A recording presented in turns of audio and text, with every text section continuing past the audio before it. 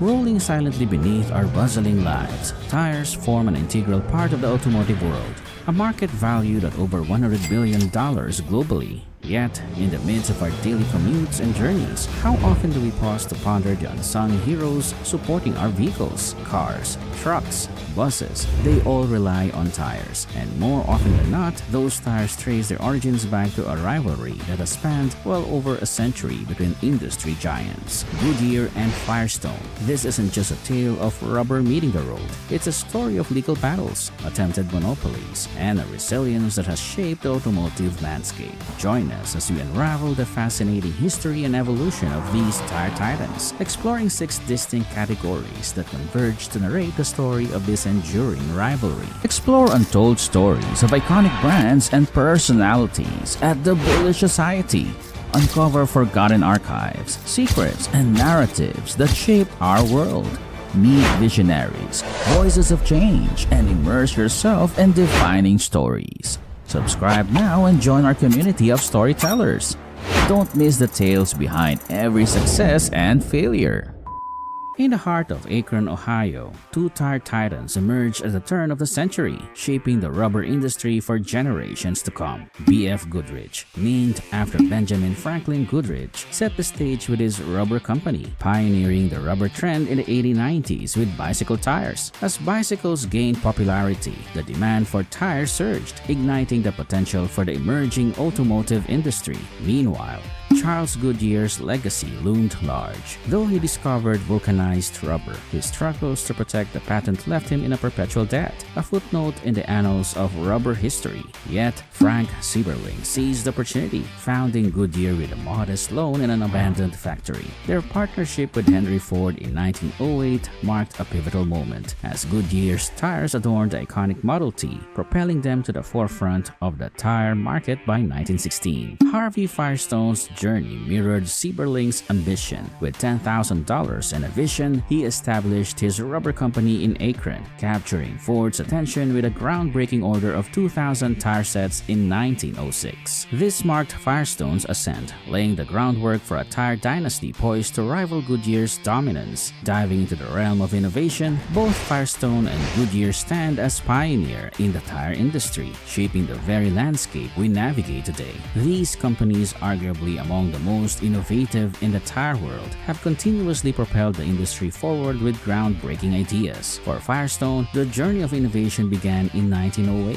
with the introduction of the first tires featuring a diagonal non-skid tread design, a stroke of ingenuity, reportedly sketched by Harvey Firestone himself, laid a foundation for safer and more reliable tires. In 1922, they proudly claimed the industry's first low-press balloon tire, promising extended tread life and tire longevity. The constraints of World War II prompted Firestone to adapt, creating tires from synthetic rubber when natural rubber was scarce. Goodyear's innovation timeline unfolds in 1904 when they engineered a tire detachable from the rim, marking a pivotal moment in tire design. The Lifeguard tire, introduced in 1934, showcased a groundbreaking ability to maintain stability even after a blowout. Venturing beyond Earth, Goodyear left an indelible mark on lunar terrain in 1971 by crafting the first tires to traverse the moon with Apollo 14. In 1991, they unveiled Aquatred, the inaugural mass-market tire meticulously designed for optimal performance in wet conditions. The collective contributions of both brands underscore their commitment to advancing tire technology through the decades. In the 1930s, during the throes of the Great Depression, Firestone faced adversity with five consecutive years of declining sales. A strategic pivot came in the form of an innovative marketing approach, targeting farmers with a specially designed low-pressure tire for tractors. The rallying cry to put the farm on rubber resonated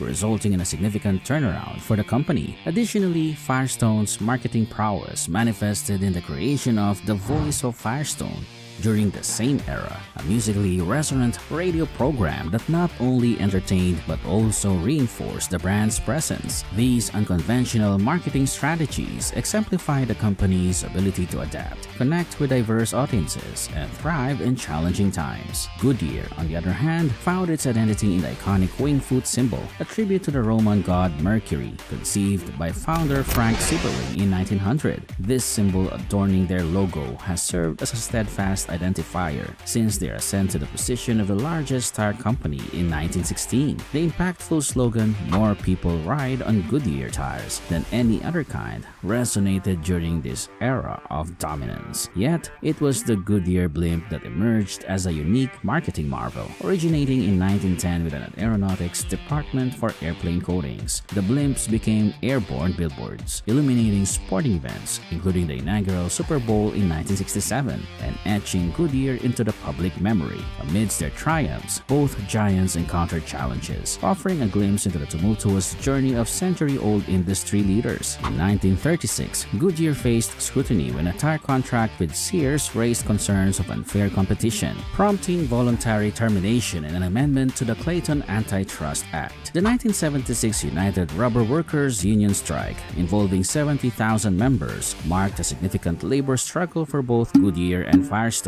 concluding with a substantial increase in wages and benefits over three years. The early 2000s witnessed Goodyear grappling with an SEC investigation into accounting irregularities, leading to significant restatements of earnings and a dent in their financial image. On the Firestone front, the recall specter loomed large. In 1978, a safety issue triggered a massive tire replacement effort, resulting in a $500,000 fine and a blow to reputation. The year 2000 brought a graver challenge, with faulty Firestone tires linked to over 200 deaths. The repercussions included a damaged reputation, the closure of a production plant in Illinois, and strained relations with Ford, disrupting a long-standing partnership. In the thrilling world of racing, the rivalry between Firestone and Goodyear has been a spectacle, marked by victories, records, and even a bit of silver screen drama. Firestone made a thunderous entry, earning acclaim through the Indy 500. They triumphed in the inaugural 1911 race, a feat followed by over 60 victories, more than all other tire manufacturers combined. However, Goodyear took the lead in diverse racing domains. Despite Firestone initiating ties with NASCAR in the 1940s, Goodyear asserted dominance from the 1950s onwards, claiming the title of the exclusive tire supplier for NASCAR since 1997. The Goodyear 400 in South Carolina stands as a testament to their racing prowess. In the world of Formula One,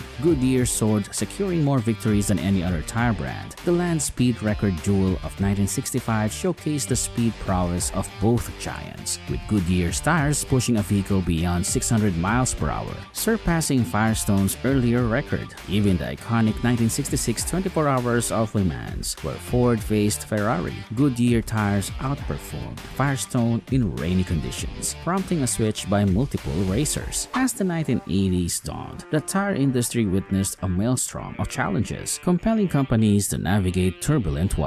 Goodyear, foreseeing the changing winds, had invested early in radial tires, a design that gained momentum in the 1970s.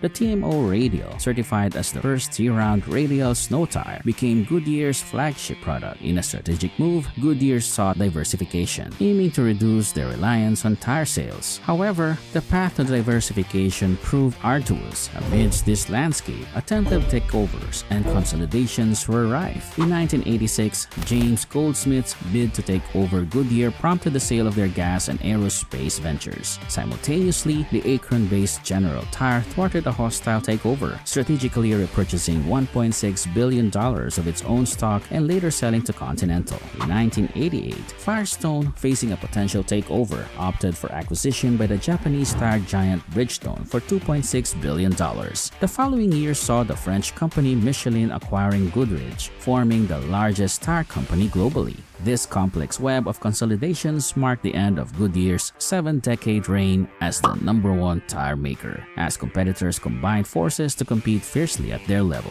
Though Goodyear remains a formidable force, the tire industry underwent a transformative shift that continues to echo through the years. Thanks for joining us on this captivating journey through the stories that shape our world.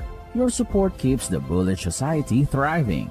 Subscribe and ring the notification bell to never miss a captivating story.